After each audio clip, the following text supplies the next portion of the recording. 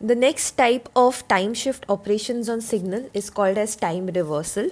It is denoted by x of minus n and it is called also called as folding of a signal. Let's understand this with the help of an example. Okay, so we have x of n as 1, 2, 1, 2. Okay, uh, my arrow is in the beginning, so it's right here. This means that my origin is here all right.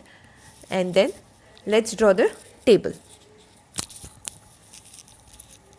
So first column we have n next column we have x of n and then we have uh, okay sorry i forgot to write what we are calculating. So um, we are calculating x of minus n. Okay. So for the solution uh, let's draw the table we have first column as n we have second column of as x of n and then we have third column as x of minus n okay? We have n values as 0 1 2 3 okay? Uh, 1 2 1 2 all right?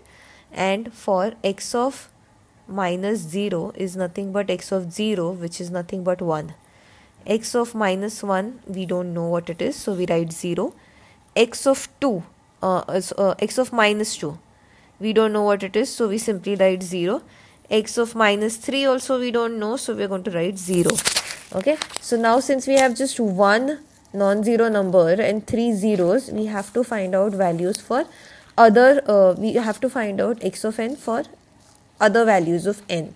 Okay? So i'm going to start with minus 1 okay?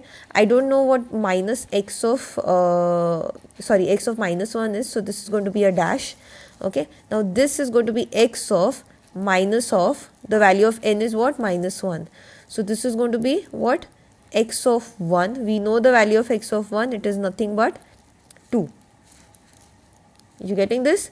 Let's do minus 2 we don't know x of minus 2 so we're going to do what? x of minus of minus 2 okay? Uh, please note that this we are substituting as the n value over here. So the minus value has to be written first and then the value of n has to be substituted. So that's what i'm doing over here which is why i'm getting a positive value inside this. So x of 2 we do know the value of x of 2 which is nothing but 1 and then I have uh, let's consider uh, n is equal to minus 3 so here I don't have any value. But this will be x of minus of minus 3 which is nothing but x of 3 and I know the value of x of 3 it is 2 okay? So this is my table. Uh, let me draw the original signal and the modified signal just for comparison. Okay so this is my original signal where n is on the x-axis x of n is on the y-axis okay this is my modified signal where n is on the x-axis and x of minus n is on the y-axis okay um, actually this is also going to be a little bit on the right okay so this is x of minus n.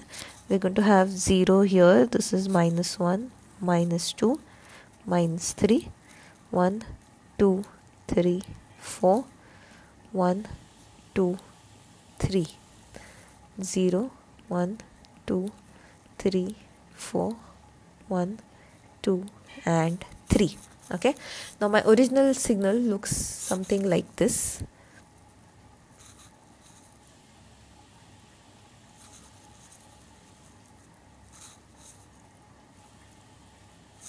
and my modified signal looks something like this.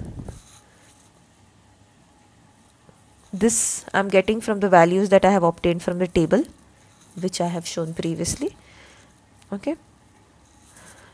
So basically if you see the original signal and the modified signal